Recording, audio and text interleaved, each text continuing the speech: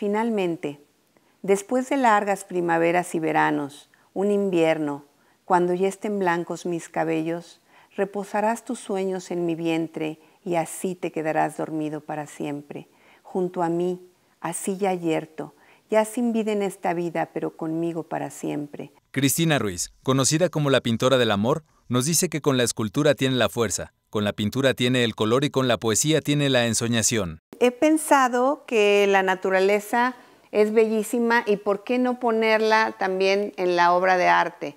Entonces estoy haciendo una serie de obra abstracta en la que pongo Ágata dentro del mismo cuadro y ha resultado todo un éxito. Siempre estoy tratando de innovar. Con exposiciones realizadas por diversos países del mundo como Francia, España, Croacia, Turquía, Japón, Estados Unidos y Sudamérica, Cristina Ruiz comentó a Notimex que a través del arte abstracto, figurativo o la escultura pretende cantarle al amor y tocar el alma del espectador.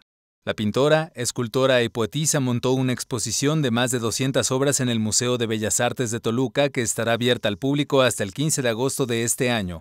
Esta exposición se llama Las Voces del Amor y he, he podido plasmar mediante todas las técnicas los diferentes tipos de amor. Con información de Raúl Adorno e imágenes de Jaime López, Notimex.